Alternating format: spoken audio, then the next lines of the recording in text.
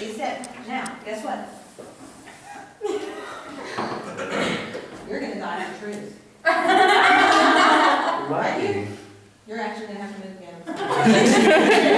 Hi, come over here. Come on, my friend. Uh, you should probably move as well. Sorry, she has to die. Yes, she does. Okay. I'm so sorry. But she's dying for truth. That's great. I like her. Who's that? Raise your vein. I don't know, maybe- Probably think this woman's about you. Now, we also don't know if these are guys or girls that are speaking, but we're gonna have two ladies die. One's dying for beauty, and the ah! other one's dying for truth. Well, there's a he. He Oh. question. Whoops, sorry. You oh, get resurrected, all right? Oh. You get stuff. Oh, You don't wanna die? You'll do it? yeah. Come over here. All Come right. on, Christian, let's We die. have a gender bonus, thank you. Come on, Okay. Christian, let's die. He's excited. Hey, Look at him. truth. I think they might have switched. What? I I think they might have switched. He looked more like Beauty there for a second. All right, he said, now, Real dead. I've never acted out this whole, had people that, okay. Um, okay, now, now, you have lines here. Oh. Remember, she it's just for called beauty, And you're supposed to say. Got a book. Yeah. Okay. Do I need a book? Okay. Well, do you know what you died for? Beauty. Thank you. Or you said Okay, beauty. so- What did I say? For beauty.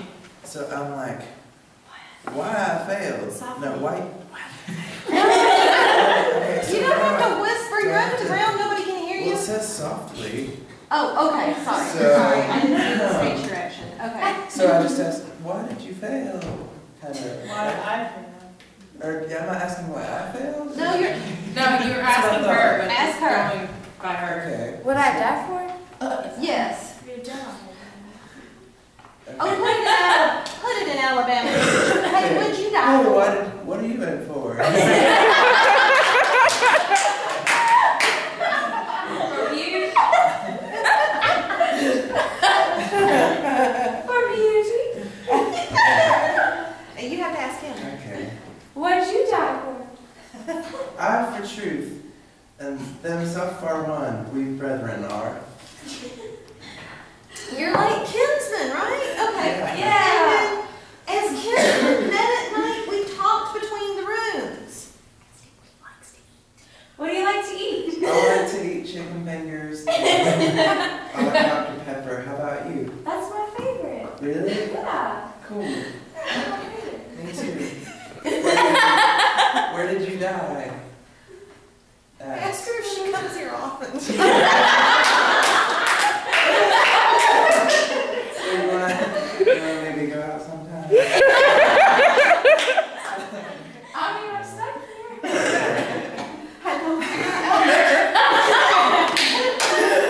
Okay. Now, um, hang on. Now, what do y'all do? Y'all are talking until what? Till the moss covered up our names. Did it cover up your names? What else did it Reach your cover? lips. Our faces. Ooh, your lips. You got moss on your lips. Ooh. Okay, so at this, at the beginning two stanzas, it sounds pretty good, and even they're sitting there talking about chicken fingers and, and Dr. Pepper, and you kind of, you know, and all that. Well, but now, they've got moss growing on them. Ooh, moss and mold and all Put that. your face up your hair. And then, there you go. Okay. And you can put a book over your face too. Yeah.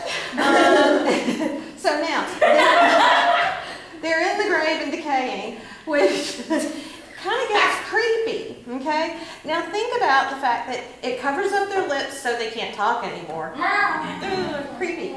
And then on top of that, what does it cover up? What does it cover up? Their names. Their names. names. Where are their names? On the tombstone. Forgot. Okay, now if you die for beauty or you die for truth, who would die for mm, 1800s, maybe late 1800s? What might that beauty be or what might that truth be? Like about the same time as Whitman?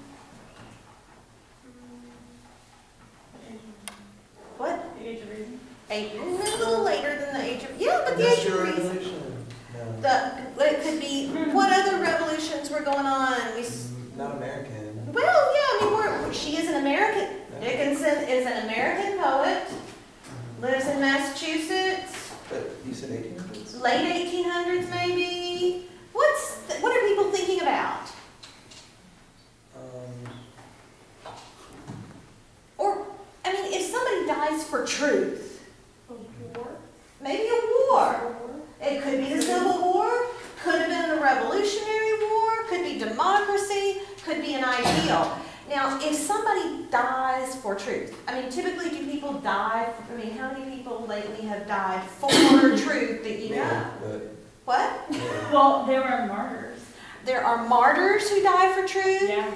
And then you could think the beauty of that truth, the beauty of that vision. Somebody who's willing to fight to the death for it, right? They died for a cause. We call those people martyrs, right? Do we remember any other names? Some of them we do, right? Yeah. Now, if you give your life for your country, for a cause, for democracy, shouldn't we remember their names? Mm-hmm. It's kind of sad that maybe now their lips are covered up with moss and the moss covers up their names and they're not remembered anymore and they don't even get to talk in the grave, right? So, at first, it's like, okay, death isn't too bad. But think about dying for a cause, like missionaries. Think about missionaries who die in foreign lands, right? They're persecuted and that sort of thing.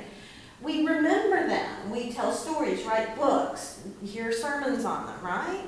So that's that's really it, it's a way of remembering them that helps the cause to live on. So it's significant that not only does the moss cover up their lips, because then they can't speak their cause anymore, and their names covered up, right?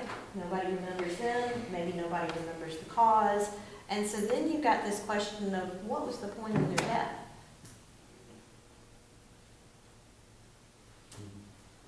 Was it worth dying for? I don't know. Yeah. It was.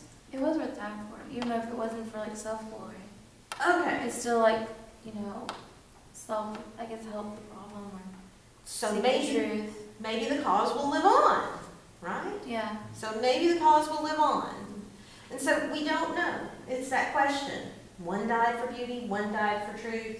For a while they could chat, talk about chicken fingers. And, but after a while, we ask, was it worth the question? We don't know that any, she leaves you hanging with that, right? She kind of leaves you hanging there or lying on the table. Okay, Emily Dickinson leaves you with a question. That's it. Okay.